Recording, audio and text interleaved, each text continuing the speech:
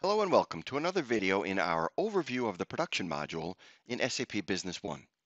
In this session, we will cover the issue for production functionality. First, we will create a production order in Business One. We will choose our finished good 100. When we choose that item code, the components from the bill of material populate automatically. You will remember that there are two issue methods that are specified backflush and manual. Backflush, again, means that upon completion of the production order, the specified quantity of the component will be automatically decremented from the inventory quantity in the warehouse. But manual would require that an issue for production be done before the production order can be completed. We will change, in this example, component number 200 to be a manual issue method. You may have a mix of issue methods on any given production order. The components may all be set to manual, they may all be set to backflush, or some may be set to manual and some may be set to backflush. We will go ahead and add this production order. And then we will come back and we will release it so that we can act upon it. So now that we have a production order in released status, we can go ahead and perform the issue for production. There are a few ways that you can do that. One way would be to call the production order up in the screen as it is here, right click and choose issue components. That would open up the issue components wizard and would create an issue for production. We will use the direct method by choosing issue for production from the menu. You could opt to enter the order number directly into the field on the first row. So we could type in 167, but if we didn't know what the production order was, we could choose it from a list of open production orders by selecting the production order button in the lower right hand corner. Here we have a list of all open production orders. We will choose that, 167, and then the menu presents us with the rows in that production order that are set to be a manual issue method. We'll choose the one that is needed, say OK, and it is brought into our issue for production screen.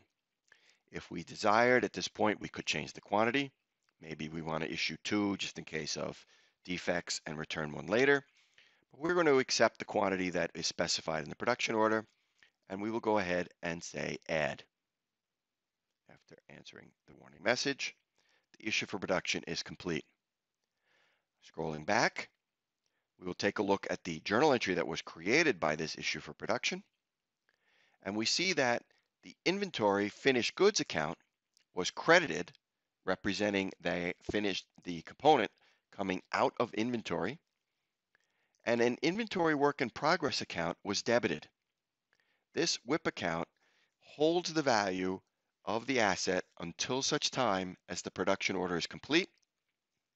And when the production order is completed, the finished good inventory associated with the finished good would be debited and this WIP account would be credited. Another way to create an issue for production is to use the pick pack manager in the inventory module to create a pick list and use that pick list to create the issue for production.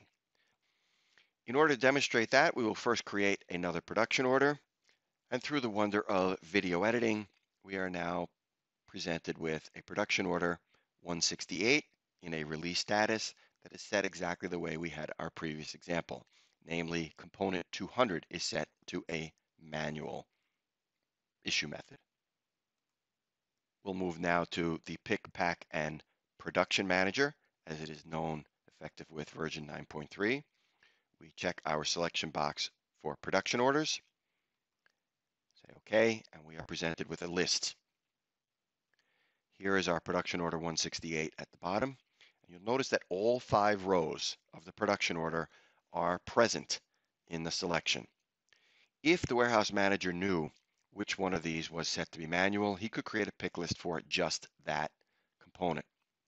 Conversely, he may want to create a pick list for all components so that when he's sending a warehouse worker into the warehouse to pull the uh, components in preparation for the production run, he can place all of them on the pick list. In our example, we are going to choose the three that are inventory items, and we will release those to a pick list. The menu walks us, the, the wizard walks us through.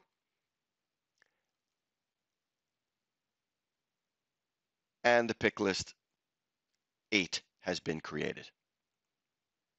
We'll find that pick list.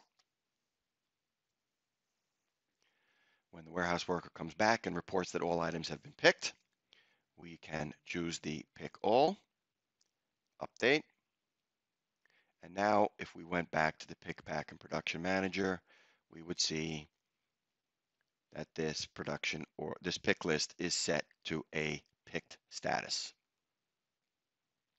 From the pick list, we can then go ahead and create the issue for production automatically the component that is set for an issue method of manual is placed into the issue for production. Even though we had three lines, three components on the pick list, only the one that is set to be manual issue method is placed on the issue for production. That is because during the reporting of the completion of the production order, those items that are set to be backflush will see their quantities automatically decremented. And if we did the issue for production first, we would double dip, so to speak, and pull twice the required quantity out of inventory. Everything looks okay. We will go ahead and add, answer our warning message, and the issue for production is created. The pick list is now complete, except for the components that are set for backflush. You'll see that they remain, the two remain from 168. Once the completion is reported on that production order, then these two components will also be set to a pick status and the pick list can be closed.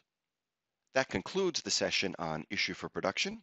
We hope that you found it informative and useful, and we hope that you will watch the other sessions in this video series on an overview of the production module in SAP Business One. Thank you.